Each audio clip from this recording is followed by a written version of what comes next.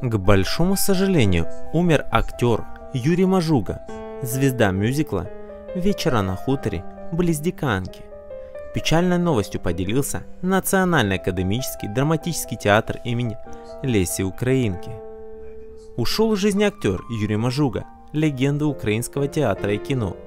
Он скончался в возрасте 91 года. Об этом на своей странице Facebook сообщил Национальный академический драматический театр имени Леси Украинки. Почти 70 лет своей жизни актер отдал театру имени Леси Украинки, где сыграл более 90 ярких, незабываемых ролей в большинстве легендарных для Киева спектаклей. 104 страницы о любви, кто должен, добряки, ревизор, рыцарь ансамблевого театра. Так назвал Юрия Николаевича художественный руководитель Резникович. Верим, актеры не умирают, они продолжают жить в стенах родного театра, в сердцах зрителей, памяти коллег и учеников, говорится в сообщении. Причины смерти Юрия Николаевича неизвестны.